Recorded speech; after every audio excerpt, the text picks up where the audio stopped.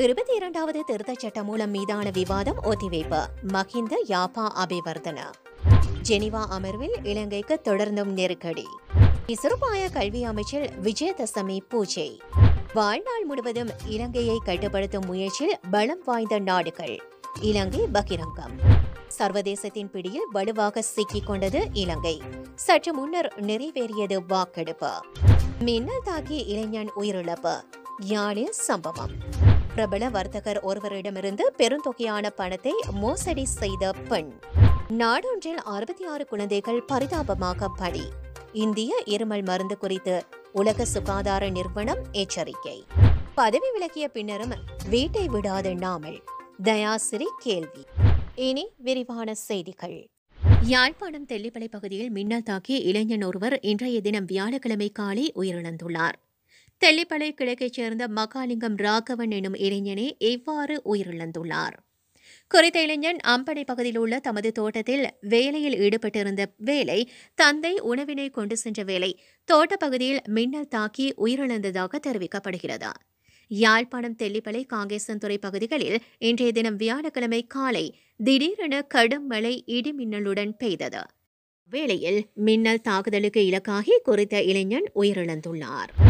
மனித உரிமையை ஆயுதமாக பயன்படுத்தி இலங்கையை வாழ்நாள் முழுவதும் கட்டுப்படுத்த பலம் வாய்ந்த நாடுகள் முயற்சிப்பதாக இலங்கை வெளிவிவகார அமைச்சர் அலி சப்ரி கடுமையாக சாடியுள்ளார்.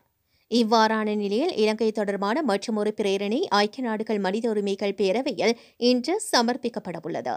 எனவே பலம் வாய்ந்த நாடுகள் கூட்டாக இந்த பிரேரணையை சமர்ப்பித்துள்ளதாக இலங்கை வெளிவிவகார அமைச்சரும் அதிபர் சட்டத்தரணியுமான அலி சப்ரி தெரிவித்தார்.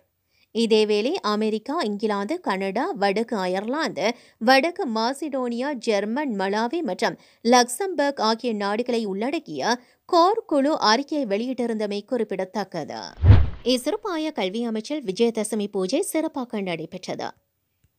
கலாநிதி சுயஸ்ரீ வைத்தீஸ்வர குருக்கள் நேற்று பூஜையை நடத்தியிருந்தார்.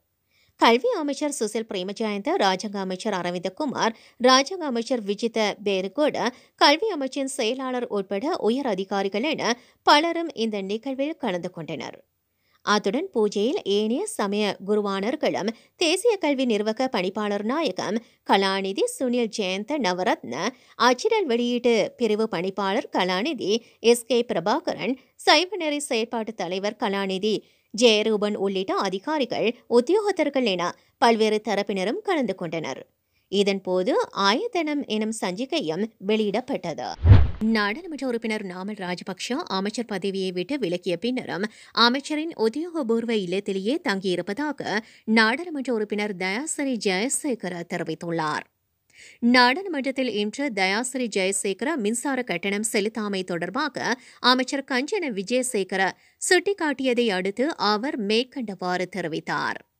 கடந்த ஏப்ரல் மாதம் தயாசிரி ஜெயசேகரவும் அமைச்சு பதவியிலிருந்து விலகிய போதிலும் அவர் இன்னமும் உத்தியோகபூர்வ இல்லத்திலேயே தங்கியுள்ளதை அமைச்சர் கஞ்சன விஜயசேகர சுட்டிக்காட்டிய போதே தயாசிரி ஜெயசேகர நாமல் குறித்து கேள்வி எழுப்பினார்.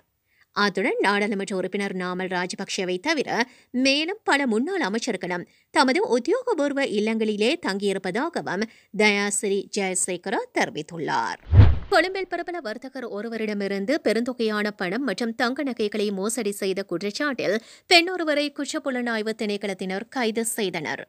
கொழும்பில் உள்ள உலக வர்த்தக மையத்தில் ஆடம்பரமான அலுவலகம் ஒன்றை நடத்தி வந்த நபரே இவ்வாறு கைது செய்யப்பட்டுள்ளார். குறித்த சந்தேக நபர் பிரபல வர்த்தகர் ஒருவரிடமிருந்து இருநூற்று இருபத்தி ஆறு மில்லியன் ரூபாய் பெறுமதியான இலங்கை பணத்தை மோசடியாக பெற்றுள்ளதாக தெரியவந்துள்ளது அத்துடன் அறுபதாயிரம் அமெரிக்க டாலர் ஒரு லட்சம் ஆஸ்திரேலியா டாலர் மற்றும் தங்க நகைகளையும் மோசடி செய்ததாக சந்தேக நபர் மீது குற்றச்சாட்டு முன்வைக்கப்பட்டுள்ளது. குறித்த பெண் குற்றப்புலனாய்வு பிரிவினரால் நேற்று கைது செய்யப்பட்டு இன்று கோட்டை நீதவான் நீதிமன்றில் முன்னிலைப்படுத்தப்பட்டார். இந்நிலையில் குறித்த பெண்ணை எதிர்வருகின்ற பத்தொன்பதாம் தேதி வரை விலக்கமறியலில் வைக்க நீதிமன்றம் உத்தரவிட்டுள்ளது. வெளிநாடுகளில் பண வைப்பு மற்றும் வேறு தொழில்களில் பணத்தை வைப்பிலிடுவது லாபகரமான பணத்தை வழங்குவதாக கூறி கொழும்பில் ஒரு நிறுவனம் ஒன்றை நடத்தி வந்துள்ளார். அவருடைய நிறுவனத்தில் கோடீஸ்வர தொழிலதிபர்கள் மருத்துவர்கள் மற்றும் பலர் வைப்புகளை செய்திருப்பது தற்போதைய காவல்துறை விசாரணையில் தெரியவந்துள்ளது. எனினும் வைப்பு செய்யப்பட்ட பணத்திற்கான வட்டியை செலுத்தாததால் குற்ற புலனாய்வு திணைக்களத்தில் முறைப்பாடுகள் அளிக்கப்பட்டுள்ளன. அரசமைப்பின் இருபத்தி இரண்டாவது திருத்தச் சட்டம் மூலம் மீதான விவாதம் அடுத்த நாடாளுமன்ற அமர்வின் போது நடைபெறும் என்று சபாநாயகர் மகிந்தயாப்பா அபேவர்தன தெரிவித்தார். நாடாளுமன்றத்தில் இன்று இதனை தெரிவித்துள்ளார். இருபத்தி இரண்டாவது திருத்தச் சட்டம் மூலம் தொடர்பில் நாடாளுமன்றத்தில் இன்று விவாதம் நடைபெற்றது. இந்நிலையில் சபாநாயகர் தலைமையில் இன்று முற்பகல் நடைபெற்ற கட்சித் தலைவர்கள் கூட்டத்தில் இந்த தீர்மானம் எடுக்கப்பட்டுள்ளது. அடுத்த நாடாளுமன்ற அமர்வு எதிர்வருகின்ற பதினெட்டாம் தேதி நடைபெறும் எனவும் அறிவிக்கப்பட்டுள்ளது. இதேவேளை இருபத்தி இரண்டாவது திருத்தச் சட்டம் மூலம் தொடர்பான எதிர்க்கட்சிகளின் இறுதி நிலைப்பாடு குறித்து ஆராய்ந்து விரைவில் தமக்கு அறிவிக்குமாறு ஜனாதிபதி ரணில் விக்ரமசிங்க நேற்று பிரதமர் தினேஷ் குணவர்தனவுக்கு ஆலோசனை வழங்கியுள்ளார். அரசமைப்பின் இருபத்தி இரண்டாவது திருத்தம் தொடர்பில் எதிர்க்கட்சிகள் பல சந்தர்ப்பங்களில் முரண்பாடான நிலைப்பாட்டை எடுத்து வருகின்ற நிலையில் ஜனாதிபதி ரணில் விக்ரமசிங்க இந்த அறிவுறுத்தல்களை வழங்கியுள்ளார். இருபத்தி இரண்டாவது திருத்தம் தொடர்பில் ஆளும் தரப்பிலிருந்து எதிர்க்கட்சிக்கு சென்ற குழு ஒரு கருத்தையும் எதிர்க்கட்சித் தலைவர் உள்ளிட்ட ஏனைய கட்சிகள் மற்றொரு கருத்தையும் நாடாளுமன்றத்தில் தெரிவித்துள்ளன. இருபத்தி இரண்டாவது அரசமைப்பு திருத்தம் தொடர்பில் எதிர்க்கட்சிகள் முதன் முதலில் எடுத்துள்ள நிலைப்பாட்டுக்கு முற்றிலும் மாற்றமான நிலைப்பாட்டை எடுத்துள்ள நிலையில் இது தொடர்பில் ஜனாதிபதிக்கும் தொடர்ச்சியாக சுட்டிக்காட்டப்பட்டுள்ளது. இந்நிலையில் ஜனாதிபதி ரணில் விக்ரமசிங்க பிரதமர் தினேஷ் குணவர்தனவுக்கு மேற்கண்டவாறு அறிவித்துள்ளார் என்று ஜனாதிபதி அலுவலக வட்டாரங்கள் தெரிவித்துள்ளன. ஐக்கிய நாடுகளின் ஜெனீவா மனித உரிமைகள் பேரவை இலங்கையை போர்க்குற்றம் தொடர்பில் சர்வதேச குற்றவியல் நீதிமன்றத்துக்கு பாரப்படுத்த வேண்டும் என நாடாளுமன்ற உறுப்பினர் செல்வராசா கஜேந்திரன் கோரிக்கை விடுத்தார். ஐக்கிய நாடுகளின் மனித உரிமைகள் பேரவையில் இன்று இடம்பெறுகின்ற இலங்கை தொடர்பான தீர்மானத்தின் மீதான வாக்கெடுப்புக்கு முன்னர் இடம்பெற்ற ஊடாடல் பொது நிகழ்வில் இந்த கோரிக்கை விடுக்கப்பட்டுள்ளது. தன்னார்வ நிறுவன உறுப்பினர்கள் மற்றும் இலங்கையின் நாடாளுமன்ற உறுப்பினர் செல்வராசா கஜேந்திரன் ஆகியோர் இந்த கோரிக்கையை முன்வைத்தனர். இலங்கையில் போருக்கு பின்னர் பல ஆணைக்குழுக்கள் நியமிக்கப்பட்ட போதும் அவை பிரச்சினைகளுக்கு தீர்வுகளை முன்வைக்கவில்லை. காணாமல் போனோர் அலுவலகம் தொடர்பிலும் இலங்கை தமிழர்களுக்கு நம்பிக்கை இல்லை. தமிழர்கள் பகுதியில் ராணுவ ஆக்கிரமிப்பு தொடர்கிறது. எனவே காணாமல் போதல் மற்றும் போர்க்குற்றம் தொடர்பில் சர்வதேச குற்றவியல் நீதிமன்றத்துக்கு பாரப்படுத்த வேண்டும். இதற்கு ஐக்கிய நாடுகள் மனித உரிமைகள் பேரவையின் உறுப்பு நாடுகள் ஆதரவு வழங்க வேண்டும் என்று கோரிக்கை விடுத்துள்ளார். நல்லிணக்கம் பொறுப்புக்கூறல் மற்றும் மனித உரிமைகளை மேம்படுத்தல் என்ற தொனிப்பொருளின் கீழ் இலங்கை தொடர்பான பிரேரணை மனித உரிமைகள் பேரவையில் சமர்ப்பிக்கப்பட்டுள்ளது. பிரித்தானியா America Germany Canada Malawi Montenegro மற்றும் வடக்கு மசிடோனியா உள்ளிட்ட பல நாடுகளின் முன்முயற்சியில் இந்த பிரேரணை முன்வைக்கப்பட்டுள்ளதுடன் குறித்த பிரேரணை இதுவரை சுமார் முப்பது நாடுகளின் ஆதரவை பெற்றுள்ளது. மேலும் இந்த பிரேரணை மீதான வாக்கெடுப்பு இன்று நடைபெற்றுள்ளது. ஐக்கிய நாடுகள் மனித உரிமைகள் பேரவையில் கொண்டுவரப்பட்ட இலங்கை தொடர்பான தீர்மானம் இன்று பதிமூன்று மேலதிக வாக்குகளால் நிறைவேற்றப்பட்டுள்ளது. இதில் ஆதரவாக இருபது வாக்குகளும் எதிராக ஏழு வாக்குகளும் அளிக்கப்பட்டன. இருபது உறுப்பு நாடுகள் வாக்கெடுப்பில் கலந்து கொள்ளவில்லை. இந்த வாக்கெடுப்பில் இந்தியா ஜப்பான் உள்ளிட்ட நாடுகள் கலந்து கொள்ளாமை சர்வதேச ரீதியில் உற்று நோக்கலை ஏற்படுத்தியுள்ளது. பொலிவியா சீனா Cuba Eritrea Pakistan Uzbekistan Venezuela ஆகிய ஏழு நாடுகளும் தீர்மானத்துக்கு எதிராக வாக்களித்திருந்தன.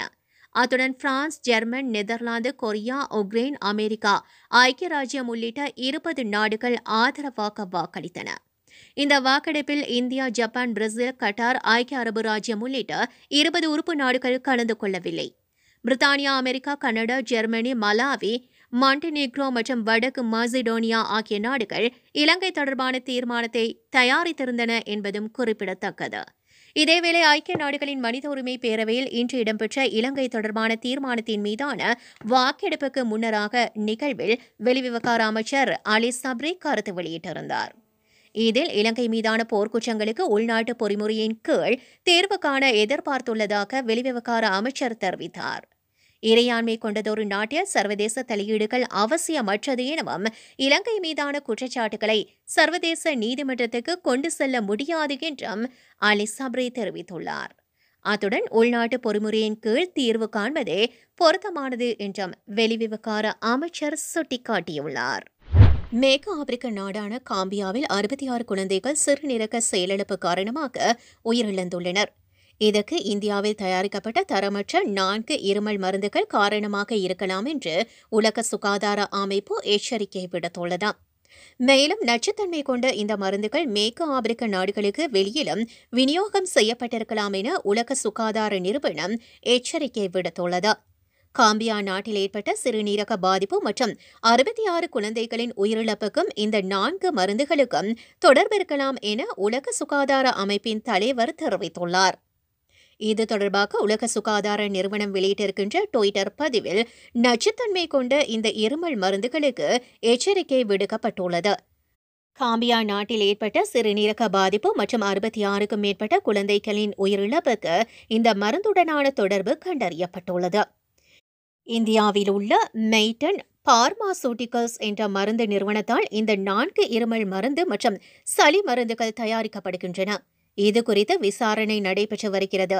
அதில் இவ்வாறு தெரிவிக்கப்பட்டுள்ளது.